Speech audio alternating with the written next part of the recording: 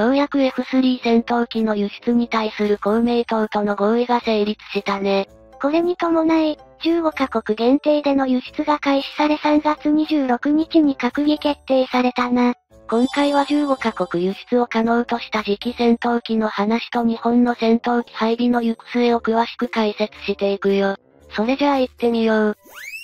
ゆっくりしていってね。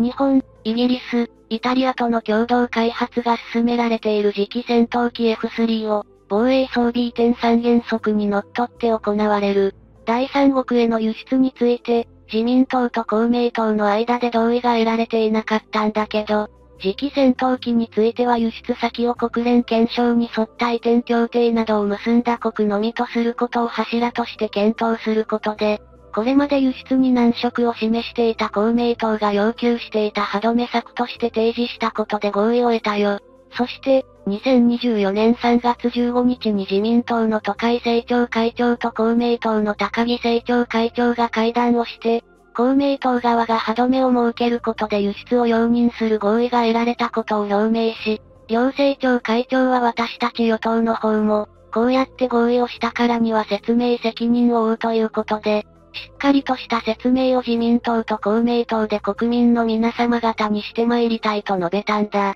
この政府与党の合意によって3月26日に閣議を開き、第三国への次期戦闘機の輸出を容認する方向性を閣議決定で示し、国家安全保障会議 NSC を招集して、正式に次期戦闘機における防衛装備品移転三原則の運用指針を改正したね。この運用指針によって次期戦闘機の輸出ができるようになったのは、日本が国連憲章に沿って防衛装備品の移転協定をすでに交わしている。アメリカ、イギリス、フランス、ドイツ、イタリア、スウェーデン、オーストラリア、インド、シンガポール、フィリピン、インドネシア、マレーシア、ベトナム、タイ、アラブ首長国連邦 UAE の合計15カ国だな。政府ではイギリスとイタリアを除く、これら15カ国から次期戦闘機導入の打診があった場合、戦争や紛争の当事国でないことを条件ではあるが、個別に与党間で協議を実施した上で閣議決定により承認していく方針が打ち出されたぜ。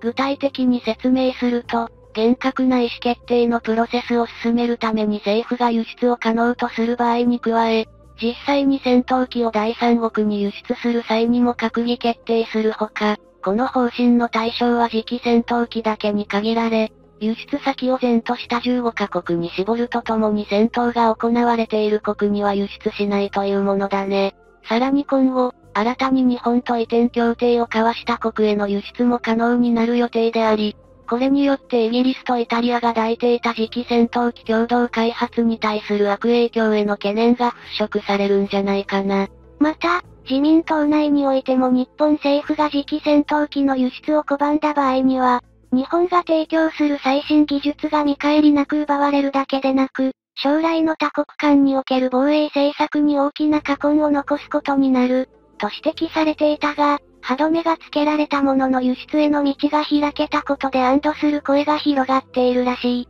これに対して野党からは15カ国に絞ったと言っても新たに協定を結ぶことで輸出国を増やすことは可能であり何の歯止めにもならないだろう。戦闘が行われている国には輸出しないというが、輸出後に戦闘が行われたケースはいくらでもあり、これもまた歯止めにはならない、と指摘されており、今後も政府と自民公明両党は国民に対する丁寧な説明が必要だろうな。次期戦闘機の開発は、共同開発機関が今年の秋頃までに発足される方向で最終調整に入っているけど、本部はイギリスに置かれて組織のトップは3カ国から交代で就任することが決まっていて、最初のトップには日本人が就任する方向で進められているみたい。2024年12月9日に日本、イギリス、イタリアの3カ国の政府から、次期戦闘機の開発においては、グローバル戦闘航空プログラム GCAP と称されるプロジェクトが立ち上げられ、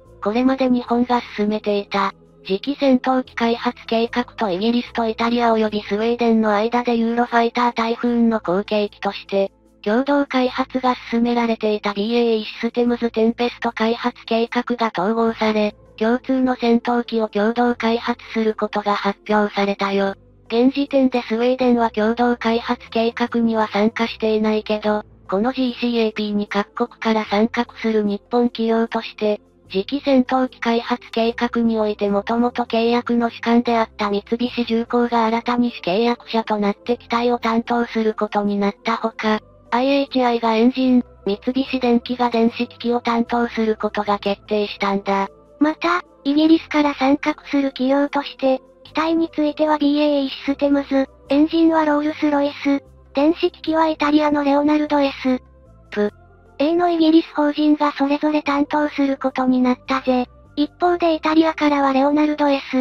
プ。A とアビオエアロが開発に参加するほか、次期戦闘機用のミサイル開発として、イギリスに本社を置くヨーロッパの武器製造企業である MBDA も参加する予定だな。さらに日本、イギリス、イタリア各国政府から、前とした GCAP を推進させるための政府間組織を、今年の秋頃に発足させる方向で最終調整に入ったと報じられていたが、その共同開発を管理するために、設立されることになった国際機関 GIGO の設立条約が、昨年末に署名されたことが各国政府から発表されたようだ。GIGO は本部をイギリスに置き、当初の組織のトップには日本人が就任する方向で調整しており、2024年内に正式合意する見通しとされているよ。また、次期戦闘機開発の中核となる日本の三菱重工業とイギリスの BAE システムズに加えてイタリアの、レオナルド S。プ。A も、この GIGO からの指示に基づいて機体の設計や製造などを担う、共同企業体 JV を立ち上げるらしく、この JV も本部機能はイギリスに置かれ、こちらの初代トップにはイタリア人が就任する方向で進められているね。なお、GIGO と JV それぞれのトップについても、数年ごとに3カ国が交代で務めることになっているぜ。今回 GIGO や各国企業による JV に関する組織トップの持ち回りなど、表向きは3カ国のバランスを取った形となっているものの、両組織の本部がイギリスに置かれたことについて、これまで日本政府が次期戦闘機開発において掲げていた、日本主導の開発という大きな理念が後退する可能性があると指摘されているね。3年ごとにトップが交代しても本部がイギリスにあるため開発の主導権をイギリスに握られるのではないか？と、懸念を示す軍事評論家も出てきているが、これまでの戦闘機開発の経験から見て、三国の主管企業の中で、ノウハウが最も集積されているのは BAE システムズであるので仕方のない気もするよ。今後、GIGO では機体設計に求められる要求項目などを整理し、JV に設計や製造などを発注する運びとなり、防衛省は来年度予算の概算要求の中に共同開発機関の運営拠出金を計上し、イギリスとイタリアも同程度の金額をそれぞれ負担する方向で調整しているみたい。また、次期戦闘機における各国の要求が違ってくる可能性があることを指摘する声が一部の軍人評論家から上がっていて、空時における次期戦闘機の位置づけが F2 戦闘機の後継であるとすれば対艦攻撃能力が必要となるが、共同開発で作られる次期戦闘機にそれが盛り込まれるかは不透明らしい。しかし、このことについては仮に次期戦闘機が空戦能力重視の制空戦闘機であったとしても、空自が現在納入を進めているアメリカのロッキード・マーティン製の第5世代ステルス戦闘機 F35 ライトニング2が、制空戦闘のみならず対地対艦攻撃も兼ね備えられている多用途戦闘機であるため問題はないだろうね。それじゃあ今回はこの辺で、よかったら、チャンネル登録してね。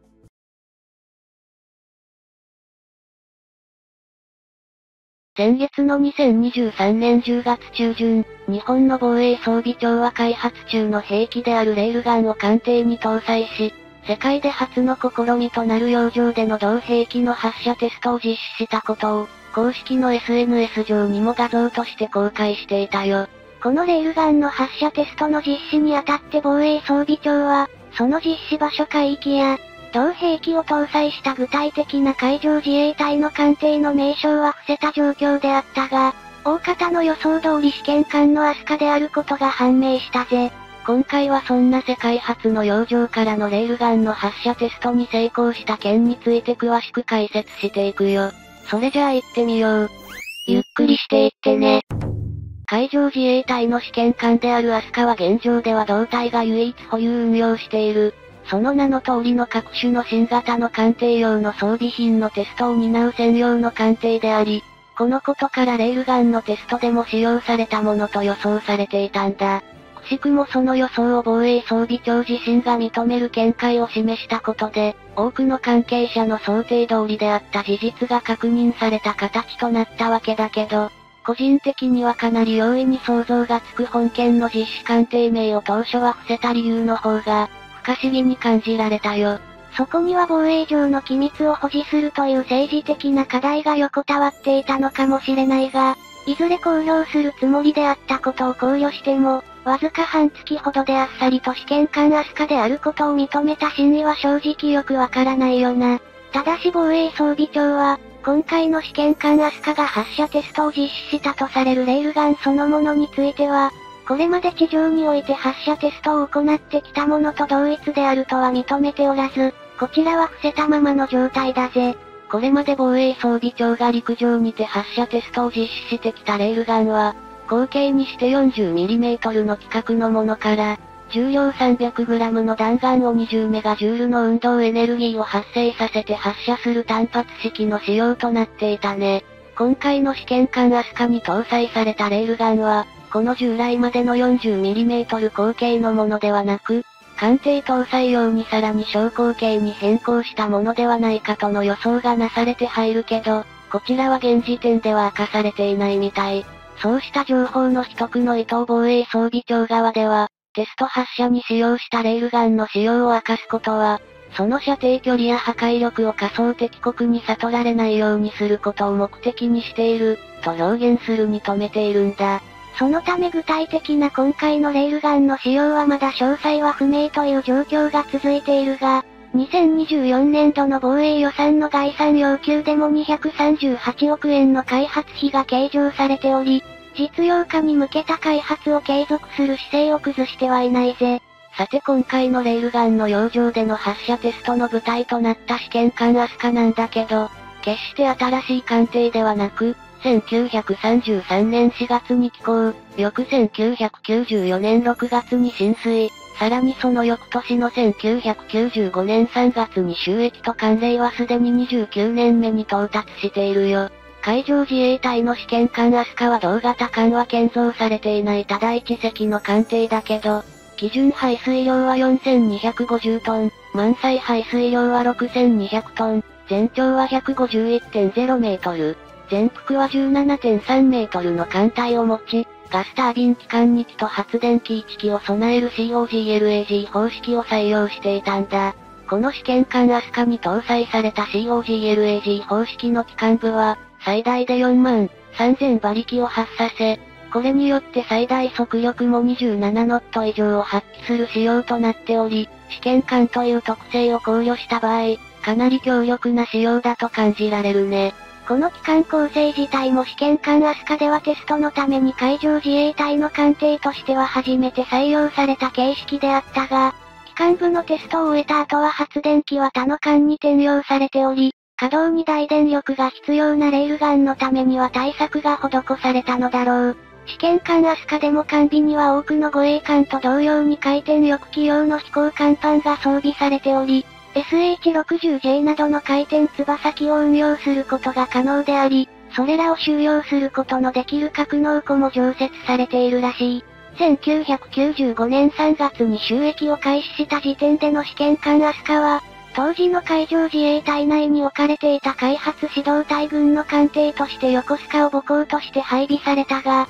今年の2023年4月には同軍が廃止され、新設された技術評価開発隊へと所属が変更されているぜ。試験艦アスカは、ほぼ同時期となる1996年から2002年にかけて全9隻が建造された汎用護衛艦である村雨型と似た規模であり、村雨型は基準排水量が4550トン、満載排水量が6200トン、全長が151.0メートル、全幅が17.4メートルとなっているな。ただし村雨型は異なる2種類のガスタービン機関を各2機ずつ備える COGAG 方式を採用しており、これによって最大で6万馬力を発させ、最大速力も30ノット以上を発揮する仕様で、実戦に向けた強力なスペックを実現させているよ。さて試験官アスカに話を戻せば、試験官の名に恥じぬ各種装備のテストを収益時から数多くこなしており、前述した COGLAG 方式の機関部をはじめ、O9921 ソーナー、射撃管制式システムの FCS3 等を直後から実施しているね。その後も試験艦朝日では海上自衛隊の C4I システムであるの OI90 や、各種の護衛艦が搭載するマーク 41VLS から運用可能な新型の7式垂直発射魚雷投射ロケット、水上戦闘艦用の単魚雷1二式魚雷等の対戦並走のテストに従事したんだ。また近年では陸上自衛隊が装備する1二式地対艦誘導弾等の艦艇搭載型となった1七式艦対艦誘導弾のテストも実施しており、著しく長射程化が進んでいる同分野の並走開発においても、大きな貢献を果たしているぜ。こうした各種の海上自衛隊の艦艇用の各種の装備のテストを実施してきた試験艦朝日の経歴を振り返れば、冒頭でも述べた通り今回のレールガンにおいても真っ先にテストに使用されるであろうことは多くの関係者に予期されていたと思われるな。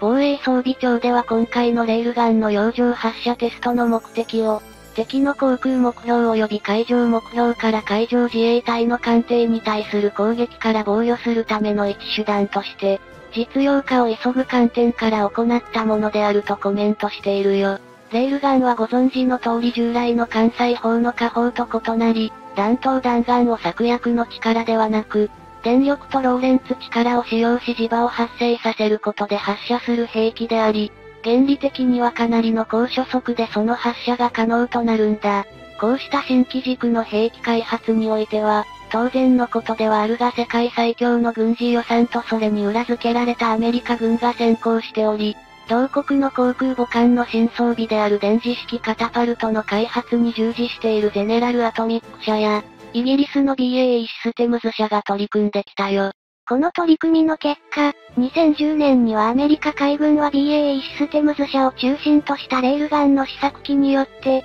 10.4kg の砲弾弾丸を 33MJ の運動エネルギーで発射することに成功しているぜ。このテスト結果を踏まえた上でアメリカ海軍は2020年の実用化を目指し、最大射程距離でおよそ 160km を目標に毎分10発の発射を可能とするレールガンを開発することを決め、その計画を進めていたな。しかしこのレールガンの使用を実現するにあたっては、少なくとも25メガジュールの電力が必要となり、現状アメリカ海軍が保有する水上戦闘艦の中でそのスペックを持つ艦艇は、建造費の高騰でわずか3隻の建造に止まったズムボルト級しか存在しなかったんだよね。当時もそして2023年現在もアメリカ海軍の主力を占めるイージス艦であるアーレイバーク級ミサイル駆逐艦は、電力の予備はおよそ9メガジュールほどしかなく、仮にレールガンを搭載するとなれば大幅な電力供給力の拡張を行う必要が生じるんだ。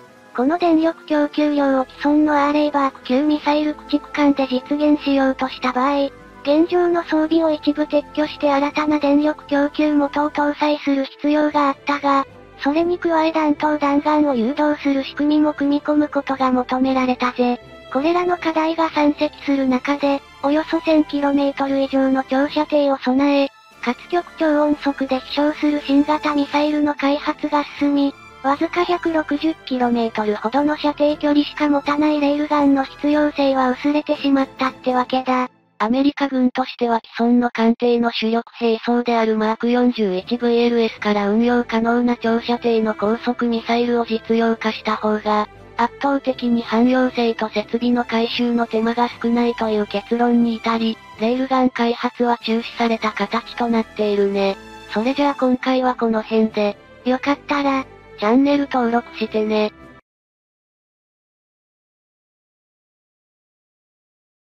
またもや海上自衛隊がシードラゴン2024で優勝したね。海事 P1 哨戒機部隊が異例の優勝2連覇達成を成し遂げたことになるな。今回はそんな海事の P1 哨戒機の売り出しが決定した件と、それに伴う国連の反応について詳しく解説していくよ。それじゃあ行ってみよう。ゆっくりしていってね。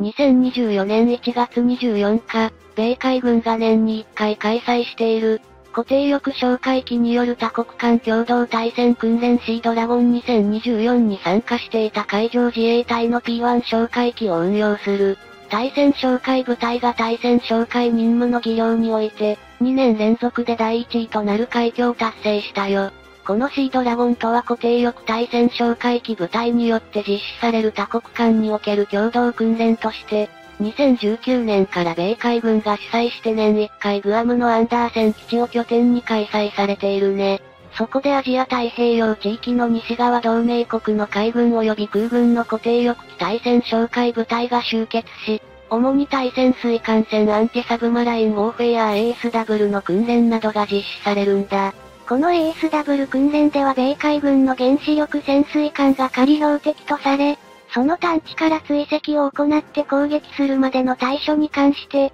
集まった各国の哨戒機部隊がそれぞれ270時間以上の飛行時間を費やして訓練演習が実施されるというものだな。ASW 訓練の公開されている内容としては、対戦哨戒機が上空から投下したその部位を用いて目標潜水艦を探知した後、追跡しつつ解析を行いながら最終的には爆雷や爆弾あるいはミサイルなどで攻撃するという想定となっているぜ。それらの戦技を競うためにポイント化し、総合的に評価した上で訓練期間を通じて最高得点を獲得した国の、紹介部隊が最優秀部隊として表彰されるわけだが、そのチャンピオンの証としてドラゴンベルトが対象チームに授与されるってわけだ。またシードラゴンでは ASW を実践する訓練演習の他に、座学の時間も設定されていて、各国から参加しているパイロットや飛行士たちが、それぞれの所属部隊における ASW 実施計画や、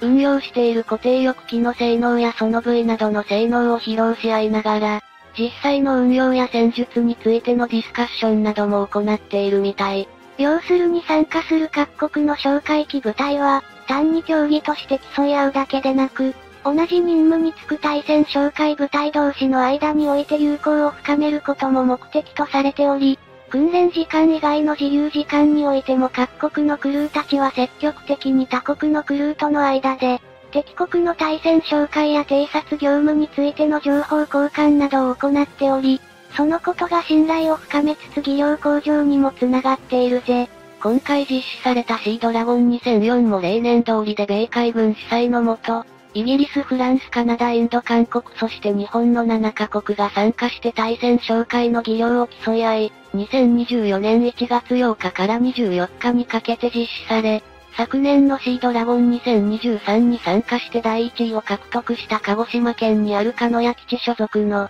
第1航空隊第11飛行隊に続いて、神奈川県にある厚木基地所属の、第3航空隊第31飛行隊が参加して2年連続の第1位を獲得したよ。厚木基地からは訓練のために P1 哨戒機1機と約40名の隊員を派遣し、今回の優勝に伴って同航空隊には最優秀哨戒部隊の称号として、ドラゴンベルトと呼ばれるチャンピオンベルトが授与されたんだ。固定翼哨戒機として2連覇を成し遂げた海事が運用する P1 哨戒機は、防衛省技術研究本部と川崎重工業による共同開発で誕生したターボファンエンジン4機の固定翼対戦哨戒機であり、それまで海事が長期にわたって運用していたターボロック式の P3C 哨戒機の後継機として開発され、2013年3月に運用開始以降、2021年までに42機が配備されていて、最終的には70機を調達する予定だね。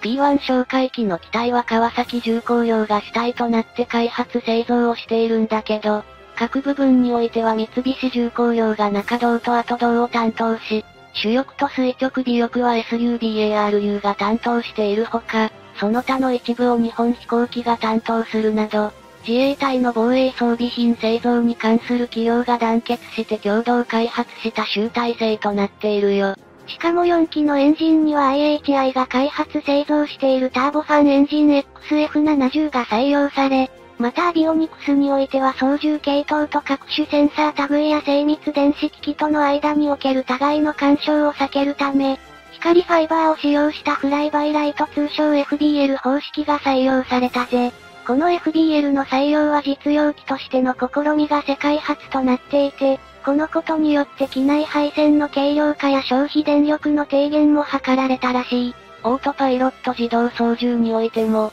従来の P3C 哨戒機では高度を維持する程度の機能しかなかったが、旅客機並みの自動操縦に加えてトリム操作や当て舵の自動化など、長時間巡航することが多い哨戒機に適した操縦アシスト機能まで大きく進化しているよ。また P1 哨戒機の対戦哨戒用その部位は、胴体下部にある試着格納部分の後方に38個装填されているが、その投下用その部位の格納部分には機体内部からの再装填を可能とし、そのうちの一部はロータリー式ランチャーによる自動装填となっており、機内に搭載されている96個のその部位を簡単かつ即座に投下することができ、こういった部分においても乗員の負担が大幅に軽減されたんだ。そして探知した潜水艦を攻撃する際に使用される兵装に関して、空対艦ミサイル91式空対艦誘導弾及び AGM84 ハープーンなどを搭載でき、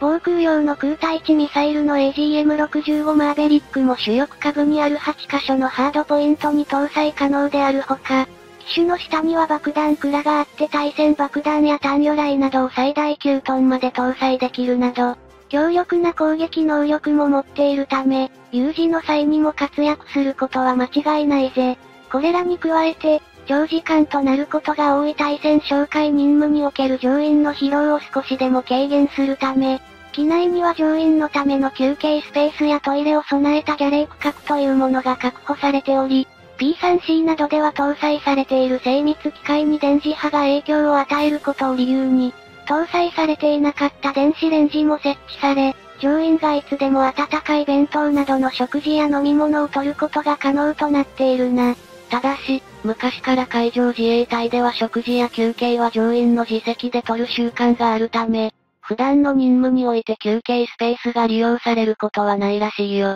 さらに P1 哨戒機では、対戦哨戒という種任務の他に災害救助派遣任務にも、運用することができる設備や装備が搭載されており、災害時の休館搬送なども対応可能とし、機種近くにある広いスペースは休館用のストレッチャーを固定できるように設計されており、そこでは同乗した医官などの医療従事者が活動する空間が確保され医療行為が可能となっていて、多目的に使用することも想定されているんだ。確かに量産が始まって間もない P1 哨戒機ではあるが、近年では中国の潜水艦の性能が高まって静粛性も向上しているらしく、情報融合能力を有した戦闘式システムにレーダーや光学及び音響センサーの信号処理技術の研究開発が進められていて、常に日本の領海を守るための対戦哨戒能力の向上が図られているからな。防衛装備移転三原則が策定されたことにより、